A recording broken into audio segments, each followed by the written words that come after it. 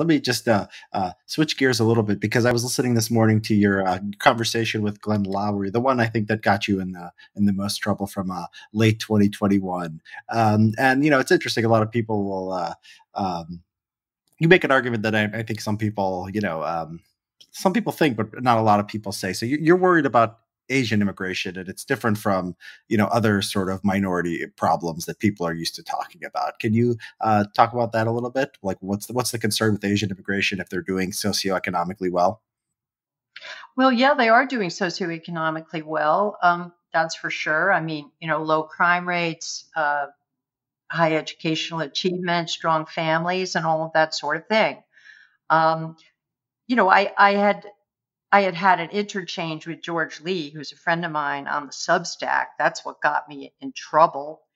The first topic we took up is why do Asians vote for Democrats? Uh, given that Democrats are pledged to destroy the meritocracy, which is, you know, creates the ladder that enables Asians to rise and succeed. Why would they want to uh, pull that ladder down? Um, I have no ready explanation for that.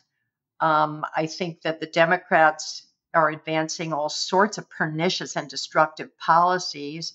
And so I'm not too keen on seeing more Democratic voters coming into the country. So one of the things I said is, you know, if if Asians continue to vote overwhelmingly for Democrats, I mean, there has been a little bit of a move away from that, but not much. You know the data. You know, that's one reason to not be in favor of this sort of vast influx of, of Asians. I mean, I really would rather see Republicans elected, frankly. Yeah.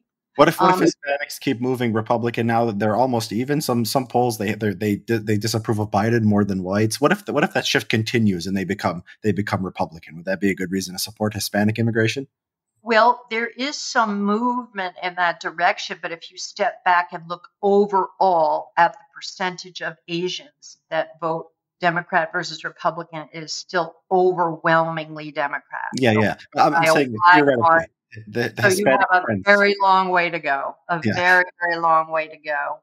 Um, and you know, on on Tucker, I was also criticizing what I think is a very opportunistic attitude that some Asians have, especially South Asians for some reason, um, who tend to be at the barricades supporting diversity, inclusion, and equity programs when in fact they're wildly successful. I don't know why they keep trying to paint the United States as some kind of racist country uh, when there's no evidence that they've been victimized by racism. So that that's a little bit disturbing too. But also, you know, the fact is, Asian culture is very different from our culture. Uh, it just is. It's it's not a post Enlightenment culture. It's not a Western culture. Uh, it it is not a a sort of liberty focused culture. It is a conformist culture. These are broad generalizations. I understand that. And there are, of course, exceptions in every population. Um, but, you know, critical masses of people from certain backgrounds do change the culture. It's interesting. I don't know if you follow a website called Education Realist. I've seen um, it. A teacher who writes a lot about education. And he says, Well, I can tell you one thing, you know, a huge influx of Asians into a particular school changes the educational culture. It results in a laser focus on test scores. And, you know, I'm all for tests and I think tests are significant.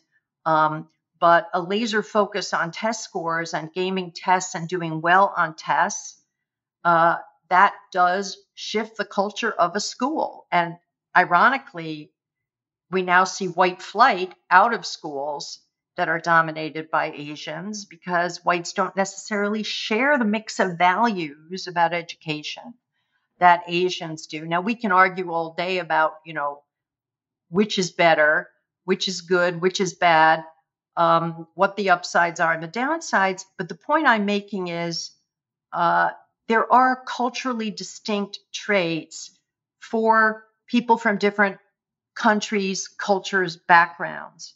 And when you have a large number of people coming in from a particular culture, it does shift the existing culture. I mean, that's just a fact. and and people ought to be talking about that. I mean, it is not illegitimate to say, you know, we want to go slow on immigration because we don't want drastic changes. We like the culture that we have. We like the country the way it is. We don't want to see it change. Those people are not presumptively evil people. I mean, that's kind of like what Trump was saying in a way. That's what he appealed to. I know you can't say anything good about Trump now. I understand that. Um, that's forbidden. That's forbidden. Uh, but, you know, there are a lot of people who like to be around people like themselves who don't want to see their country turn into a polyglot boarding house those people deserve to be heard. Well, what, Amy? What about? I mean, when you talk about the school change, I mean, I'm a big fan of school choice. I'm a big fan of freedom of association. I mean, so you know why not why not work out you know the, the idea just the, the, you know the idea that you know asians i think you have to sort of break them up into different categories. I, I see the indian representation in dei east asians seem to be massive they punch massively below their weight as far as cultural influence given their socioeconomic status. You know I, I don't see them really you know i think you're right they are conformists but that makes them sort of not as not as culturally relevant. So you know i sort of see a, a lot of groups like this especially east asians as sort of able to go um, in any any direction. Um, but yeah, I mean, well, you know, what what about just you know the old you know sort of conservative ideas of school choice, freedom of association? I, I think that goes a long way to solving a lot of these problems, doesn't it? Well, you know, I'm all for freedom of association. I'm a big freedom of association fan, just as you are. Um, and I would deregulate, you know, all of the laws that force people together who don't want to be together uh, you know, as you might. But here's the problem, Richard. Our culture is moving in exactly the opposite direction. The ruling class, the people in power, especially the people, the sort of people with cultural power on the left, the lefties who, uh, you know, control all the opinion shaping institutions, they hate freedom of association, except when they're summering in Nantucket or whatever. Uh, you know, they never talk about it. They, in fact, of course, are are fleeing diversity even more than anyone else. But uh, you know, they they profess to love it and to see it as the paramount value, and therefore, any rules for the little people, right, that allow them to choose, self-segregate, um, you know, uh, get away from the people they want to get away from you know, be with the people they want to be with, uh, those are not going to fly. Um, so you're really asking for a very countercultural project here. Uh, and I just don't see it happening. Yeah, I mean, stopping you know the flow of people across borders, given the economic incentives, I think is also a a sort of very difficult thing too. And you know, I think the freedom of association thing is you know is is good to do anyway because it's I think it solves um, a lot of these a lot of these problems. Um, the, no, we uh, see that issue differently. I mean, I from having read your your stuff and followed your Twitter and and you know your Substack, I know that you're um, not as enamored of of you know national identity, borders, uh, nationhood as I am for sure, and I I get that. I understand that. Um, but I really think that the ordinary people, the little people, the common people, they care about this stuff.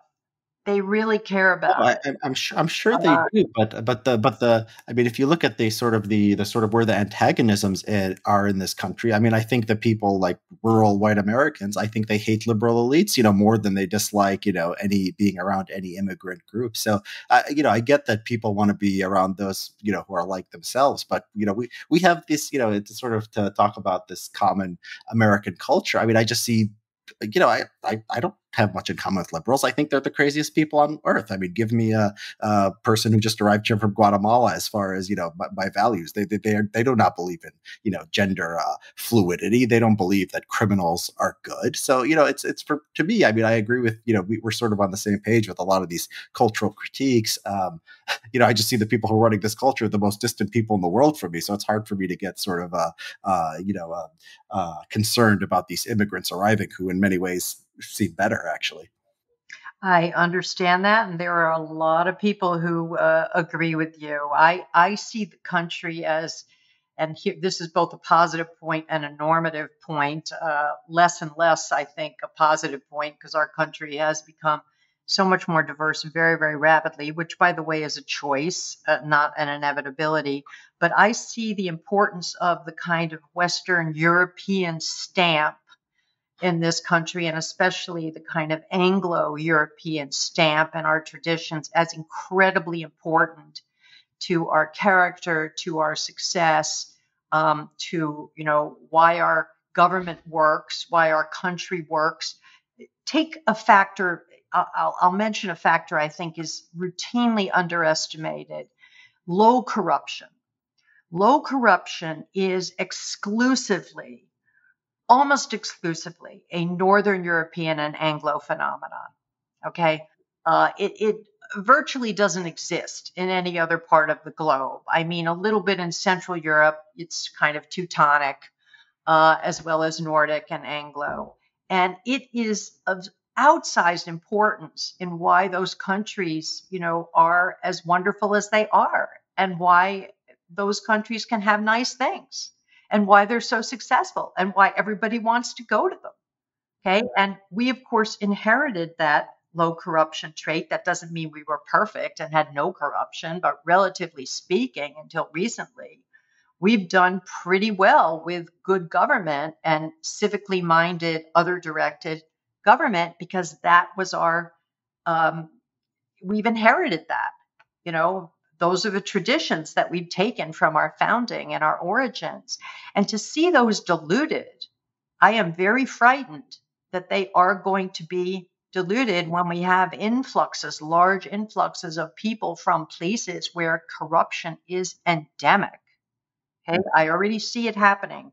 We are we are turning from a first world country into a third world country in so many ways that nobody wants to talk about uh, and that you know it's it's suspect to talk about that you can get into trouble for talking about. I get into trouble. But i really think that this is a really important thing. And it means preserving protecting and defending what we have keeping you know tight a tight lid on immigration not letting any one group or any third world group certainly get too large and all of that sort of thing thank you